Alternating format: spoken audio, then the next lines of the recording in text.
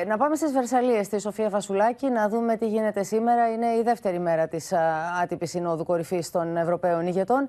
Να μας κάνει η Σοφία τον απολογισμό και να μας δώσει όλες τις πληροφορίες για τα όσα έχουν γίνει.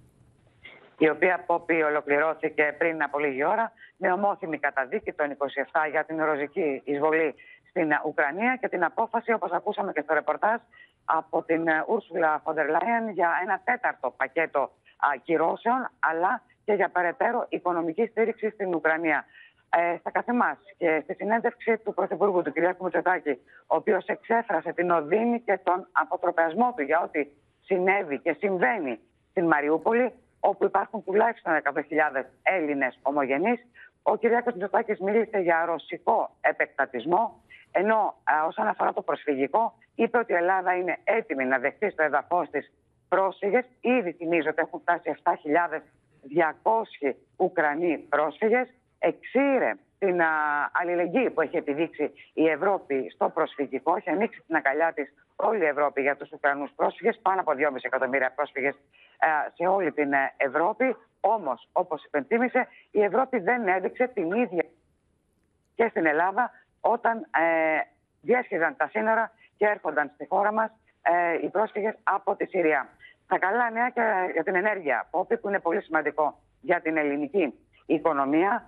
Φαίνεται ότι η πρόταση του κ. Μητσοτάκη ε, έγινε αποδεκτή από την Κομισιόν και από πολλούς Ευρωπαίους ηγέτες. Και το λέω αυτό γιατί σε λίγες ημέρες θα υπάρξει συνάντηση, όπως όλα δείχνουν, της Ελλάδας, της ε, Ισπανίας, της Ιταλίας και της Πορτογαλίας στη Ρώμη για το ενεργειακό.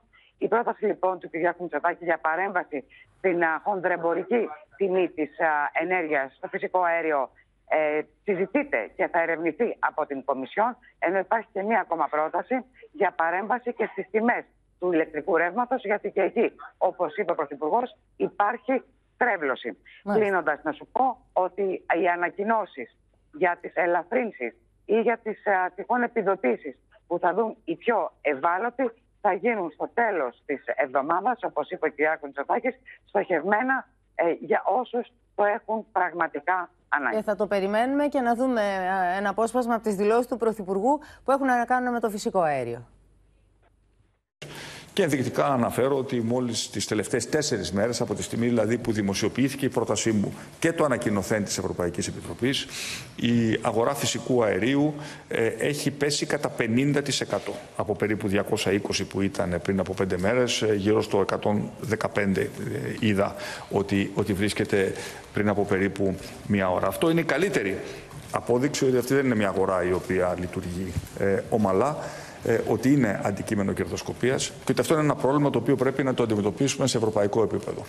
Αυτό αφορά την αγορά του φυσικού αερίου. Για σήμερα όμως είναι ξεκάθαρο ότι στον τρόπο τιμολόγησης της ηλεκτρικής ενέργειας υπάρχει μια βασική στρέβλωση. Η συντριπτική πλειοψηφία των χωρών ε, φαίνεται να τάσσονται υπέρ της ανάγκης να γίνει μια παρέμβαση ε, και στην αγορά του φυσικού αερίου αλλά και στην αγορά τιμολόγησης της ηλεκτρικής ε, ενέργειας.